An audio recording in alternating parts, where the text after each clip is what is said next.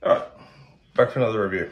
So, gonna review battery charger today. Now, what I found that works for us is a Victron Victron Energy. It's a Blue Smart charger, uh, 12 volt, 15 amp. Alright, so it only has a single output. Good thing for us that we found Bluetooth, so we can monitor this from external. What we found with this one, it's a single output, alright, but it is fused. So that works well. So at the moment, just got a rudimentary little basic setup to charge the battery. I don't mind the wires everywhere. Some of that's for, most of that's for battery monitor, all that black wiring over there. So we've a single red, single black coming off there to the battery, and then positive running to the shunt for the monitoring. All right. But there also is a big advantage with this one is the fact that you can run 12 volt items up to 15 amps that we've found without a battery. All right. So let's just say you're at a caravan park or what have you, uh, or you're parked up at home for an extended period of time with a caravan. Rather than putting power back into the battery to then drain it to run your 12 volt items, um, we run our fridge just off the battery charger and not off the battery but charging the battery at the same time just to replenish that power. So what we'll do is we'll take a, uh, I'll, I'll uh, screen record and we'll leave that over here. Now with this one you got to log in. Um, usually I think it's four zeros or six zeros, one of the two.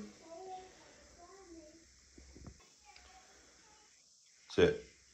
Go into find your device. Uh, and after this one, we're just going to find our battery charger. That'll be there. Now you want to, you can have it set to charge. Now at the moment, I've got mine set up to the battery, so it's not really going to affect it. But if you had a 12 volt device and it was set to battery, it's not actually going to turn the item on. It's not going to do any damage that I found. So this is just what my result is um, of my testing. Doesn't mean anything. So the suggestion would be disconnect it before you change it over to power or disconnect it before you put it on charge mode.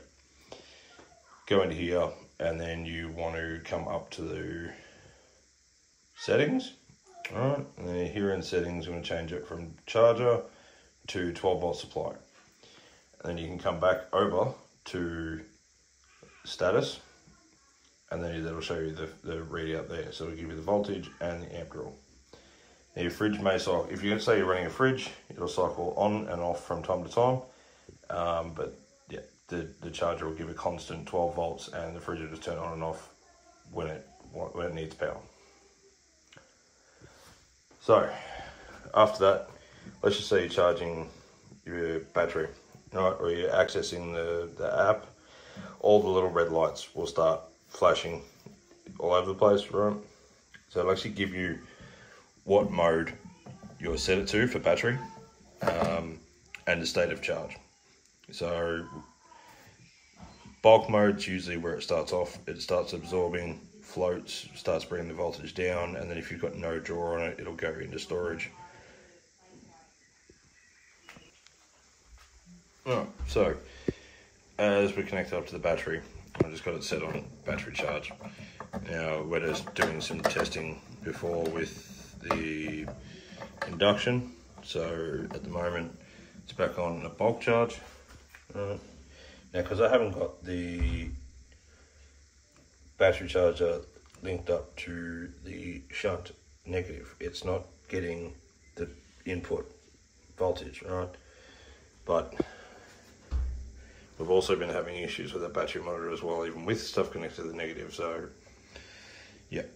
So at the moment, we've got it set on lithium ion uh, which is about 13.2 volts at 15 amps. Now, depending on your battery, you can have that higher to set at 13.6 um, with a bulk charge of 14.6 and it'll reduce down to 13.6 once it's finished.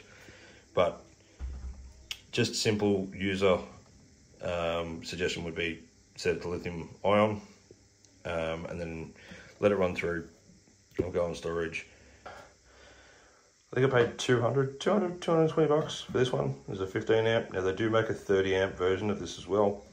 And I think that's roughly around about $300 off the top of my head. But look, it is a little bit higher on the price, but given the fact that you're charging Lithium. and the fact that it comes with an app is very beneficial for us. But yeah, thanks for watching. Catch you on the next one.